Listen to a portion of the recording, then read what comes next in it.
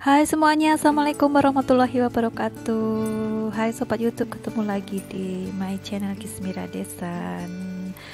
Oh ya Sobat Youtube, kali ini uh, di video kali ini aku mau sharing tentang bagaimana cara perbanyakan dari uh, bunga yang berdaun ungu ini ya Sobat Youtube. Yuk uh, ikutin terus videoku ya, jangan di skip-skip Mungkin dari kalian udah tahu ya apa nama bunga yang berdaun ungu ini.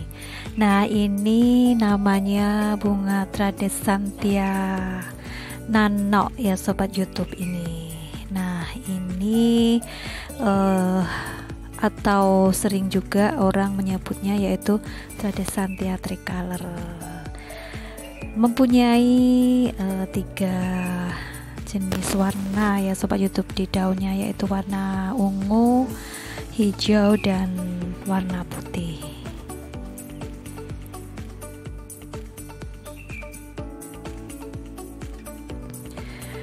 Nah, nggak usah berlama-lama, sobat YouTube. Yuk kita ikutin uh, gimana cara berbanyakan dari bunga Tradesantia Nano ini. Let's go. Nah ini udah aku sediain medianya ya sobat YouTube. Ini aku pakai pasir malang, kompos sama sekam. Dengan perbandingan eh, pasir malangnya dua, komposnya satu dan sekamnya satu. Terus langkah yang kedua yaitu kita uh, potek batang dari bunga ini yaitu kita pilih batang yang sudah tua ya. Hmm, yang sudah tua dan besar. Nah ini aku mau potong uh, batang yang besar dan sudah uh, lumayan tua ini. Aku potong di uh, dua ruas dari bawah ya sobat YouTube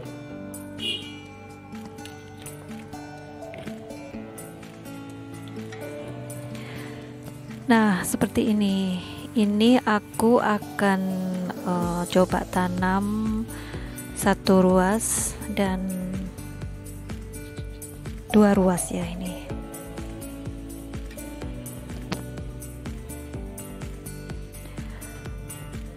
Nah, ini aku potong dua ruas.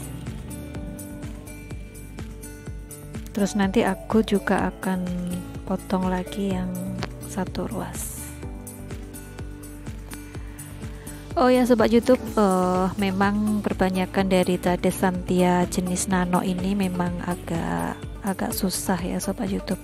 Aku itu berulang kali, uh, udah lebih dari lima kali itu nyoba itu nggak ada yang berhasil sobat YouTube. Terus beberapa bulan yang lalu aku mencoba untuk uh, perbanyakan lagi dan alhamdulillah uh, berhasil ya sobat YouTube. Nah ini udah aku tancepin satu ini yang dua ruas. Terus yang ini yang satu ruas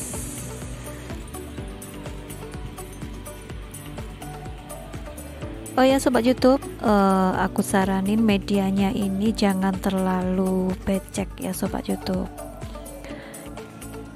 Kita pertama-tama uh, sehabis ditanam ini kita spray aja, nggak usah di uh, diguyur air ya sobat YouTube biar tanahnya nggak terlalu medianya nggak terlalu becek.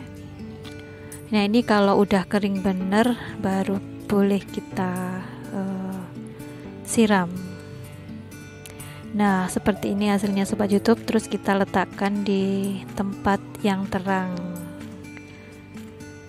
Dan jangan sampai terkena air hujan ya.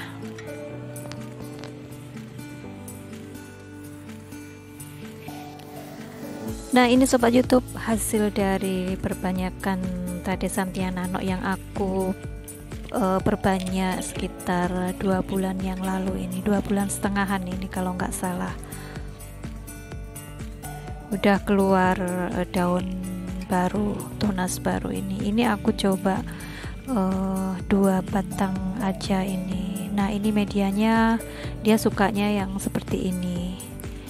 Enggak begitu lembab dan enggak begitu becek.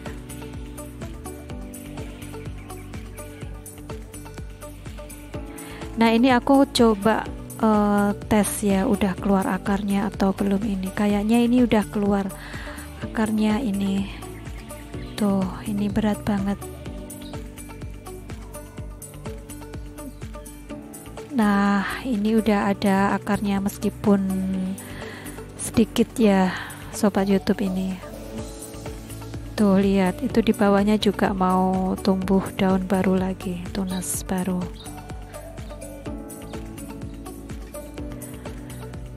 Nah ini tradisi santia aku yang lainnya ya sobat YouTube. Tuh tumbuh daun-daun baru dan ini medianya juga seperti ini, nggak terlalu uh, becek.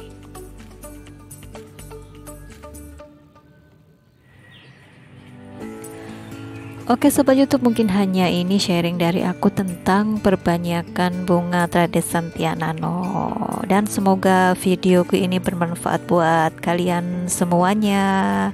Dan jangan lupa ditonton terus video-video aku selanjutnya ya. Assalamualaikum warahmatullahi wabarakatuh. Bye bye